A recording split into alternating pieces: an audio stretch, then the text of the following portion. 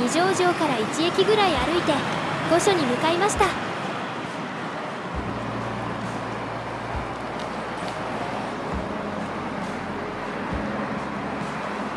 桜並木が綺麗でした。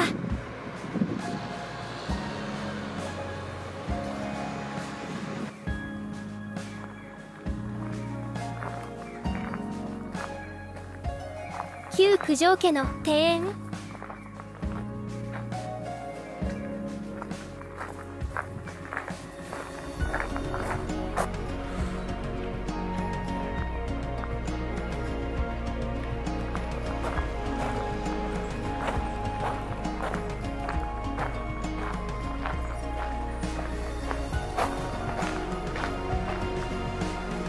公家や三宅など多くの屋敷は東京に遷都現在はこのお庭だけが残ります。九条家は藤原氏一族の一つ。代々天皇家に娘を嫁がせ天皇家との結びつきが強い。近衛家二条家一条家高塚家と共に五石家と呼ばれ多くの摂政や関白を輩出。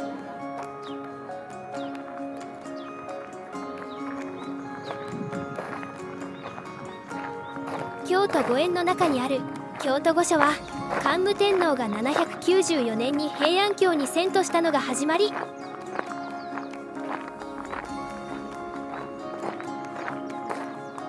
約500年間明治維新まで天皇のお住まいでした。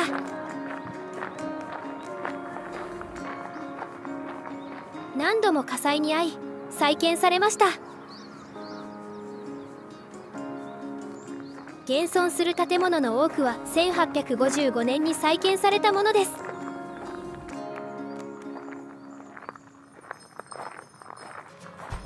現在は五足石工画や京都御所茶会が催されるほか国賓へ皇室文化を紹介する場として重要な役割を果たしています。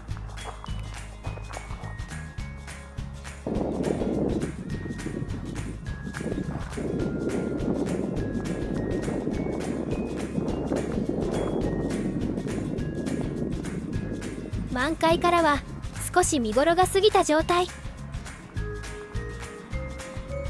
残る花の下で名残を楽しむ情景がありました。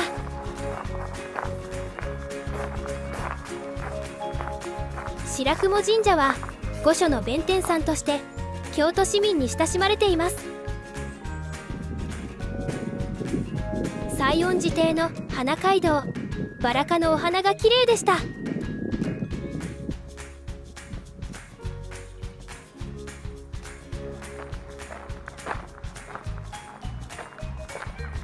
桜の散り始めの御所は初めて。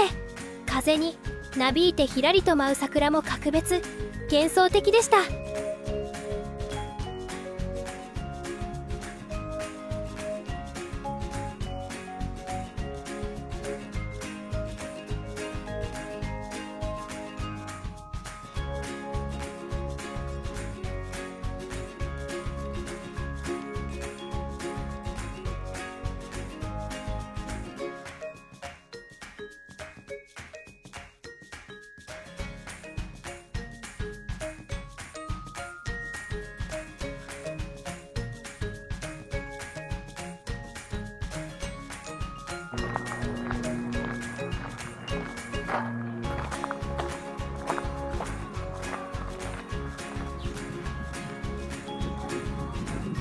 人も大人もカラスも野鳥も落ちる花びらに見入ってました。